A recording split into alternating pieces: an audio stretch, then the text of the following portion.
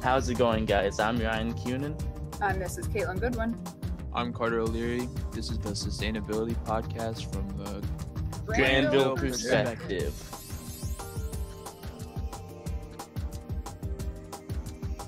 Hey guys, welcome back. It's the Granville Sustainability Podcast.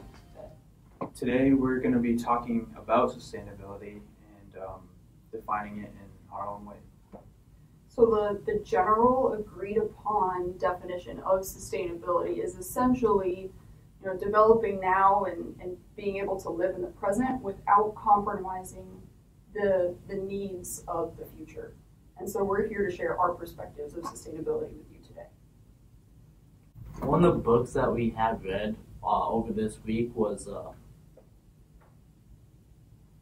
Introduction to Sustainability, uh, How to Build a Better Future. And uh, he has a lot of great topics that he covers about, about what sustainability is, which is a development for the future and the present, trying to uh, be in line with each other, how economic growth, society progression, environmental uh, protection, and then he even talks about like what the present is, even like a day or two ahead, and then the future within five years, and talks about how to tackle on those uh, progressions. And as uh, important as you know to plan for the future, um, there is no real way to tell what the future will hold.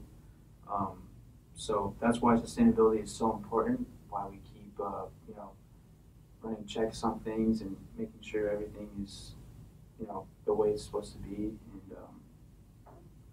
obviously advancing too. Um, you know, there's no sustainability without advancement, so uh, that's definitely a big key. And I feel like a lot of time when, when people talk about sustainability, the first thing that comes to mind is the environment. Like we hear a lot about environmental sustainability all the time. We've got to protect our natural resources, but really when we think about the present and the future, yeah, the environment's super important, but there are other aspects of society that are also important. Uh, like just having a day to day life. You gotta sustain a way to make it so you get to live and not just be in the moment. You have to find a way to every day make something new rather than just be living in like society. Make each day something new and special for. And uh, economic growth plays a big uh, part in sustainability. Um, just with uh, you know, money wise is a you know, it's a big thing that runs every country. Um, and so keeping uh, keeping up with the way money flows and um, just how it's spent and how you spend it uh, is definitely a big key it also affects businesses on how corporations can evolve, how small town businesses can stay afloat. It's a huge thing on understanding what sustainability truly is rather than what some people call it as. Because sustainability is really the maintaining a rate of always increasing but not increasing too much. That you want to progress through time, but if you progress too much, you'll have nowhere else to go in a couple years. But if you maintain to what you are five years down the road, your small business won't be able to stay afloat with the different uh, increases in taxes and cost of living. Right, I think it's really cool that you bring up scale because, like, you know, when I think about sustainability, my brain always goes to big scale, like sustainability of the world, save the planet. And you know, there are a lot of huge systems that are in place when you're talking about that global scale sustainability. And then you brought it down to like, you know, for your business, how can you be sustainable? For, you know, make environmental and conscious decisions, make you know decisions that are going to keep you in play in you know financial decisions, and then also making sure that you're serving the society and you know keeping that aspect going. And then you like brought it down even further and talking about like personally, like how do we how do we be able to sustain ourselves, you know, and interacting in the environment, managing our own money, managing ourselves and our interactions with others. I think it's kind of cool how, you know, the different scales play effect. Like, I wonder which ones you guys think of most. Like when you think about sustainability, what scale do you go to?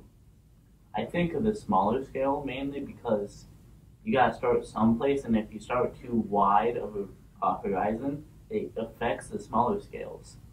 That the smaller scales, when they come together and you build off of them, you get the well, the big scale of the whole environment, the whole world, and you can see that with COVID, the way that affected uh, businesses having to go out and people losing their jobs. It also affected the prices increasing in our economy. That when the little businesses go out and we're more reliant on the big businesses and they have to raise their price because supply and demand. That they only have so much supply now that they have to raise the price so people can get the demand they need. I like that with the supply and demand too, because um, I think a big part of that is just like the trend. You know, what's what's going on right now and um, what people need right now. And I think a lot of the small businesses didn't have what people necessarily needed during the pandemic, and that's you know that's not on their part. You know, it's, nobody saw this coming. Um, so it's it, it gets really tricky when you like bring in the small businesses and like it's you know obviously the bigger businesses weigh out the smaller ones because they have more of what the people actually need. So um, it's really important uh, for people to support uh, the small businesses when they can, because um, that also helps the economic uh, growth as well. And it's good when you would agree it even affects school systems how learning has been a change since last March. It's almost been a year since we as a school system had shut down. And this is probably going to be coming out that day that we had to have a two week break because of COVID. But just a way of teaching, you don't have a lot of kids in your classroom all the time. And learning's different. And we adapted. I think that was the main thing that we found a way to adapt and then become sustainable to build for a future. That like right now we get come Wednesdays, and at the start of this year we weren't coming Wednesdays. No one was coming Wednesdays, and us seniors are lucky enough to be able to come every week now. And that's just uh, again what Ryan said, just building off that, starting off small because you don't want to start off too big and then have too much food on your plate. You know, you gotta start out small and um, good things will come. Well, also like Carter said, start off small and head to big. If you stay small for so long, if if you're thinking it like it's a food a plate, yeah, you grab your entrees before your appetite. Well, you grab your appetizers before your entrees, Yeah. and if you eat too much, then you'll never have room for your uh, entree. But if you don't if you get the same size appetizer and entree, you'll still feel like an emptiness that you might not be fulfilled at that present moment. It's just knowing when and uh, how you can increase. Yeah, I think you guys bring up a, a really big thing as we're talking about sustainability with, you know, being able to adapt. You know, the, there's a bunch of different scales of sustainability. You got to like make it manageable for you at the time be ready to move forward but then also be willing to adapt because you, you have an idea of what the future might be. But when it changes you got to be willing to change with it. Uh, in the book that we had to read, uh, there was uh, three phases that they in, uh, implanted for sustainability and uh, going in the future. One is the optimal phase, which is the present. You plan what's going to happen now and then. Well, for like the first two years. Say COVID stays around for five plus years. This would be a great uh, image to look about. How are we going to be able to bring kids back to school and how are we going to make sure it's safe? And Then you have the tactical plan, which you think, okay, how can we get kids, every kid here? instead of just the days that they're allowed to come. How you get almost to a normal school system, how like we have seventh through twelve in our school, and we go like every other week, but just figuring out how you can get all grades in the school at once. And then finally, you have the strategic phase, which is like you plan for the future, past that.